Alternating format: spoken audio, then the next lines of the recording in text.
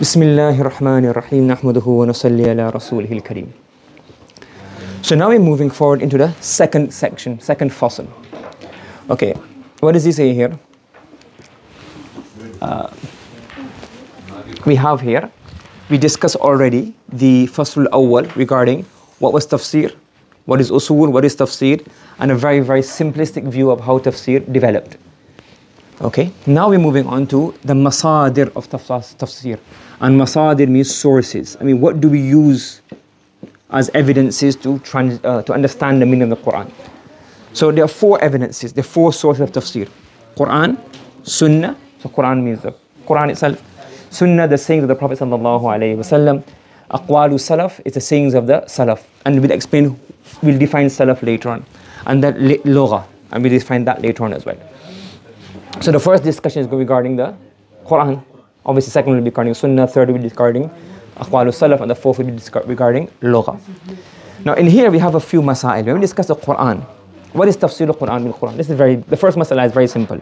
Is that tafsir al-Quran bil Quran means basically you explain the meaning of one verse because of another verse. So because the word is explained in here, so because this ayah means this and the same word is used, also means here. And we understand as we give examples. So simply, tafsir al-Quran bil Quran means to explain the meaning of one verse based on the context, the meaning, or something we understand from a, another verse.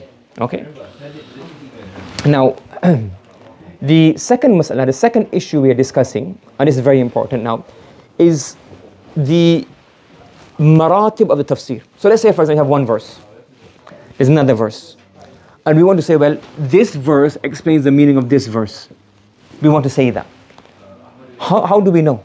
What tells us that this verse is actually referring to this verse? Well, it could be, for example, maybe uh, the Quran itself tells us that this verse or this part of the verse explains this part of the verse. Maybe the Prophet ﷺ, he tells us that this second verse, verse number two, explains verse number one. He doesn't say explicitly, but he says, well, look, this verse says this and this verse says this.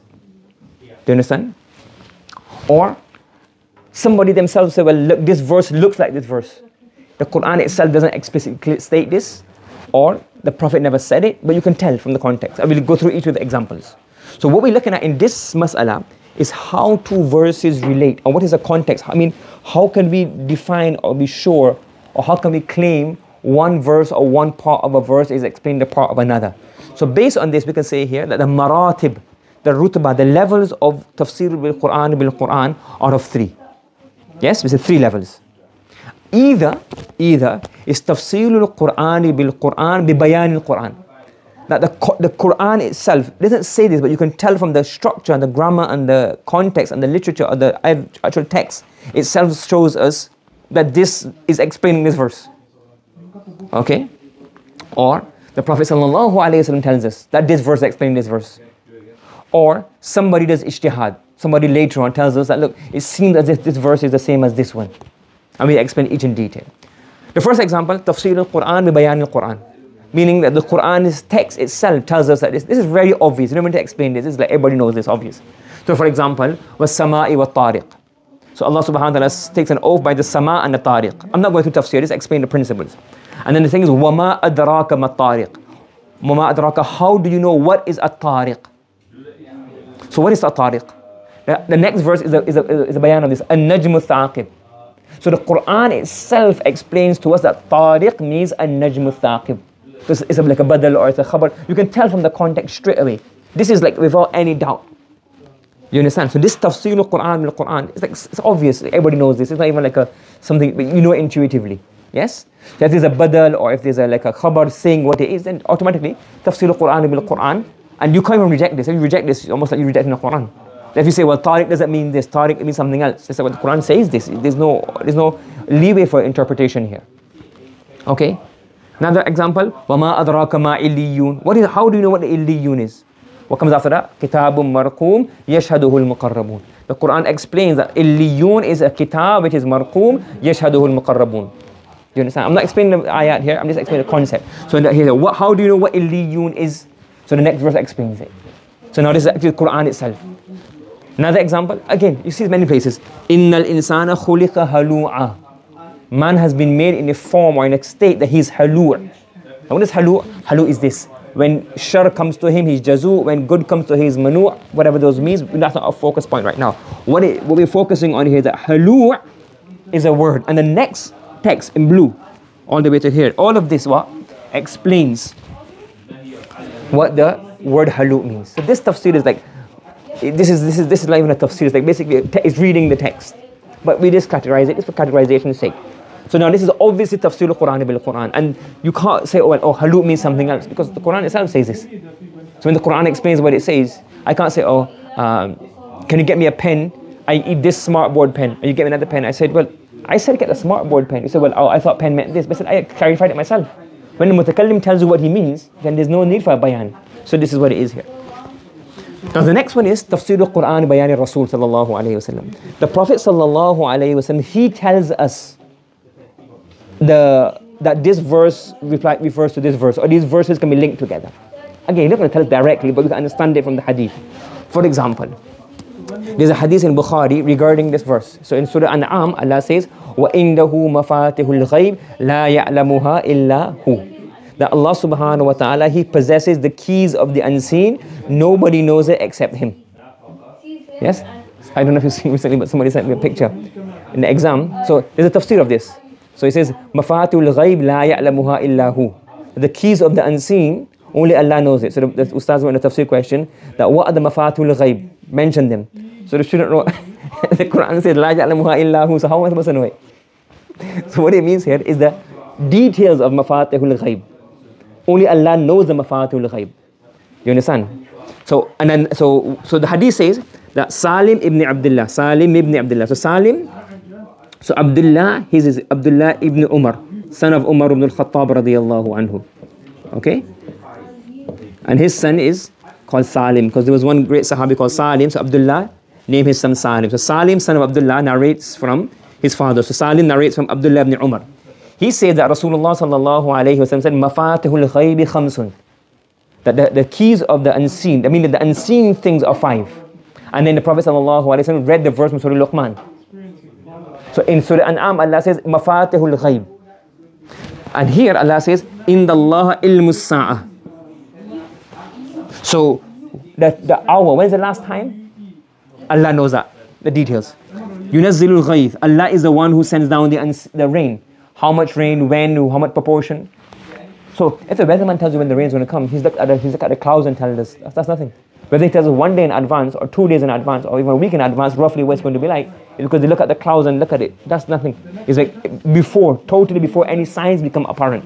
Allah knows. And even then, how much, which miqdar, how much, where, when, only Allah knows. Yes? وَيَعْلَمُ مَا فِي الْأَرْحَامِ And uh, number three. So number one, number two, number three, وَمَا تَدْرِي نَفْسٌ مَاذَا تَكْسِبُ غَدًا Number four and number five. Nobody knows exactly what he's going to earn tomorrow and nobody knows where he's going to die. Again, I'm not going to tafsir here, but what does it say? So now the Prophet ﷺ clearly said that mafatihul ghaib is khamsun. So the mafatihul ghaib mentioned in Surah An'am are mentioned in Surah Luqman. So these are five things unseen which only Allah knows the depth of these things. Do you understand? So now this is a tafsir, hadith is telling us what uh, this Quranic verse links to this Quranic verse. It's a tafsir al-Quran bil Quran on the indication or the pointing out of Rasulullah sallallahu alaihi wasallam. Do you understand? So as long as this sanad is sahih, as long as the hadith is sahih, we know the Prophet has said this, then this is also, there's, there's no need for us to argue regarding this. Because the Prophet has said this, so the Prophet knows more about the Quran than we do. So as long as the sanad is sahih, and it's authentic narration, he has said this, we can be sure. Or we can have itmi'nan that the Prophet has said this then that's fine. We accept this hadith. Do you understand? Everybody following? Yes? Any questions on site? Online? Muhammad Abdullah following? Another example of this, it comes in a hadith, the Prophet, it comes in a hadith. So regarding this verse, in Surah An'am again, الَّذِينَ آمَنُوا وَلَمْ يَلْبِسُوا إِيمَانَهُمْ بِظُلْمٍ Those who believe and do not mix their iman with any dhulm. So for them, ulaika lahumul amn. Allah mentions reward for them. So the Sahaba were like, everybody does wrong. We all do wrong. You understand? So he says here, Abdullah ibn Mas'ud radiallahu anhu narrates that when these verses were revealed, shaqqa dhalika al muslim. The Sahaba were a bit concerned that those who do not do any wrong, we all do wrong. We all make mistakes. We all slip up. We all have errors. So they said, Ya Rasulullah, ayyuna la yadhlim nafsahu. Which one of us does not oppress himself? Everybody does wrong. Everybody is zulm. We, we, might miss a salah, we might say something in anger, we might oppress somebody by mistake. Something of the other, we may do something. So we all do kind of, some kind of dhulm. We may not fulfill somebody's rights, we forget to fulfill a promise. Things happen, we slip. So ayyuna la yadlim nafsahu. So Allah is saying here that this promise is lam yalbisu imanu bidhulmin. They have iman and there's no there's no the dhulm, there's no no wrong, no dhulm adulterates the iman. So the companions were worried. Do you understand? So the Prophet ﷺ, he did tafsir. He explained this using another verse. He says, eh, Laysa that. It doesn't mean like what you understand it to be. What is it? Dhul innama huwa shirk. Dhul means what? Shirk, polytheism. Alam tasma'u ma qala Luqman libnihi wa huwa ya'idhuhu? Did you not hear what Allah subhanahu wa ta'ala has narrated to us regarding Sayyidina Luqman when he gave nasih to his son? Ya bunayya la tushrik billah inna shirka la dhulmun azim. That shirk is a great oppression. So the Prophet ﷺ is telling us, that look, this verse here is the tafsir of dhulm. So in Surah An'am, the word dhulm is is mentioned, and it, the other verse, Inna shirka la dhulmun azim, tells us what shirk is. So sorry, what dhulm is, which is what shirk. So the Prophet himself is, is, is pointing out and joining ayat together and displaying it to us. This is another type. Again, as long as the sanad is sahih, then this is this is explained. We don't need to we can't we don't need to we can't contradict this. You understand? Do you understand? Now what is the third type? Is where is tafsirul Qur'an bil Qur'an bijtihad. Somebody themselves say, look, this verse links to this verse. Pardon me? Yeah, no, that's a aqwalu salaf. That's different. What we're saying here is that when we do tafsir al-Quran bil Quran, but who is applying the Quran to the Quran? One is the ways that Allah Himself, mubda minhu badal, mubtada khabar, answer to a question. That's Allah telling us that this this ayah is. The other, the Prophet tells us. Now after that, anybody else, they themselves uh, say that it seems to me, it appears to me that this is the same thing. This verse linked to this verse. They do their own ijtihad. So for example, now this is obviously when somebody is making their own effort, their own thoughts, then what's going to happen automatically? Some will be right, some will be wrong, some will be okay, possible. So when somebody, a mufassir, meaning any person who's trying to tafsir, he uses and says this verse is the same as this verse. It's not clear from the Quranic text. The Prophet hasn't mentioned it, it's his own apparent. So sometimes, yes, it's obvious. For example, Imam At-Tabari rahimahullah, he says, Sirat al-ladina an'amta alayhim. So who's an'amta alayhim? Oh Allah, show us the path of those whom you have bestowed your favor upon. So who's those who Allah has bestowed his favor upon? So when he explains this, he says there, he says, in the Jarir Tabari says, نَذِيرُ مَا قَالَ رَبُّنَا جَلَّ ثَنَاءُ فِي تَنزِيلِهِ He's making reference to another verse. In here it says here, فَأُولَٰئِكَ are with those people whom Allah has blessed. And then the mean is bayaniya. النبيين والصديقين والشهداء والصالحين وحسن أولئك رفيقا. So now this verse, yes, is saying Allah has bestowed these people and who are these people? I.e. the Anbiya. So that means that An'am Allahu alayhim is the same as An'amta alayhim. And who are them? Who's these people? What's the bayan of Alladina? So that means An'amta alayhim refers to Nabiyyin, Siddiqin, Shuhada and Salihin. Now the, the Quran is two separate surah. We can't, we can't deduce from the context of the Quran that this is exactly what it means. The Prophet hasn't told it to us. But common sense and logic, everybody would accept that yes, this second verse is an explanation of An'amta alayhim. But in theory, it is correct. It's maqbool. Everybody, all the ulama accepted this. But in theory, it is open to interpret. It's open to argument and debate. But obviously, you can tell common sense, logically, everybody agrees that yes, the an'amta alayhim has been explained in another verse, and it is the nabiyyin, siddiqin, shuhada, and the salihin. Do you understand? Some, sometimes you can get hit and miss. For example, in Surah Abasa, Allah says, ثُمَّ السَّبِيلَ يَسَّرَ ثُمَّ السَّبِيلَ I'll explain in more detail later on. So Allah used the word sabil. Yes? Allah has made the path easy for him. Allah has made the path easy for him. So Mujahid, his opinion was that this sabil mentioned in Surah Abasa is the same that is mentioned in Surah in uh, Hal Atal Insan Hin min al-Dahri. It says, Inna hadaynahu sabila imma shakira wa imma kafura. So we have guided him to the path. Uh, each person has the ability to understand what is right and what is wrong. and then he himself then either becomes thankful to Allah subhanahu wa ta'ala and stays on this path, the straight path. Wa imma kafura, he doesn't follow the path and he, he, he becomes misguided. Do you understand? So in one verse Allah uses the word sabil, in another verse Allah uses the word sabil. Mujahid, his opinion was his ijtihad and his effort was, his thought was that the, the, the sabil mentioned in this verse is the same sabil mentioned in Surah Abasa. And the sabil here refers to what? Uh, guidance. It's referred to what? Guidance. But is this, does the Quran tell us this sabil and this sabil is the same? Did the Prophet tell us this sabil and this sabil is the same? This is why his own ijtihad. That's why now Abdullah ibn Abbas, other people said no. This tafsir, this tafsir al-Quran, al-Quran is not 100%. That's why Ibn, ibn Abbas said no, it doesn't mean this. Abdullah ibn Abbas said that the path Allah has made for him is you get a baby 10 pounds with like a, this big head. How does it come up from his mother? It's almost like impossible. But Allah has made it possible and we get childbirth every day. So he thinks sabil here means the womb, the path of the womb from which a child comes out. Do you understand? So if you look at the whole verse, again, the whole verse is what? قُتِلَ الْإِنسَانُ مَا أَكْفَرَ Allah says, woe to man, man is very ungrateful. Look at it. مِنْ أَيِّ شَيْءٍ خَلَقَ What have we created him from? We have created him from a drop of sperm. Then we have formed him. ثُمَّ السَّبِيلَ يَسَّرَ Again, then we have made the sabil easy for him. ثُمَّ أَمَاتَهُ فَأَقْبَرَ Then we give him death, then we put him in the grave. Then when we wish, we will resurrect him. So he's saying here, that look, we created him from a nutfa, then we formed him, then in life we gave him the guidance. And then we give him death and then we resurrect him. Abdullah ibn Abbas saying, no, we don't think it like this. We think he's all, because this, this would mean what? This is creation, creation, creation, creation, guidance, creation, creation, creation.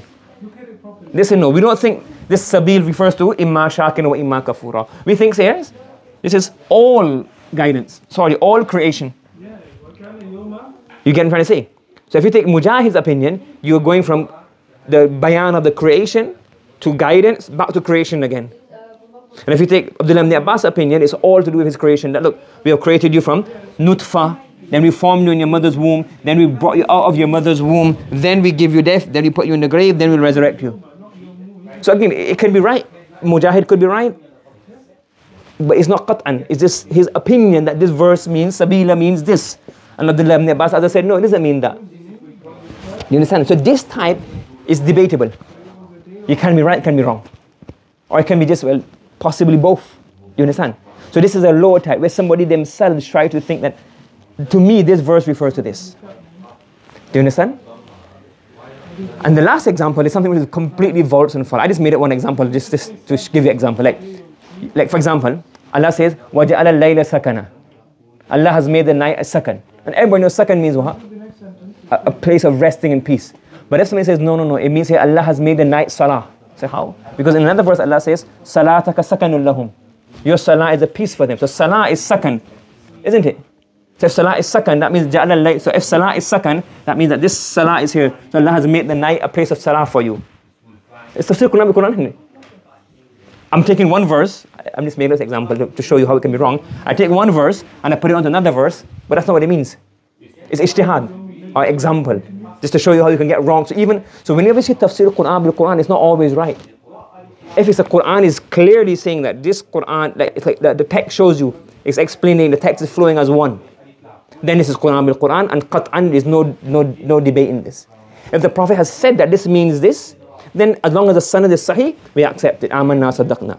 And if any mujtahid, whether it's the early mufassirun, or later mufassirun, said this verse applies to this verse, then we have to analyze it. It's open to, you can have it correct, you can have it wrong, you can have it bain bain. Do you understand?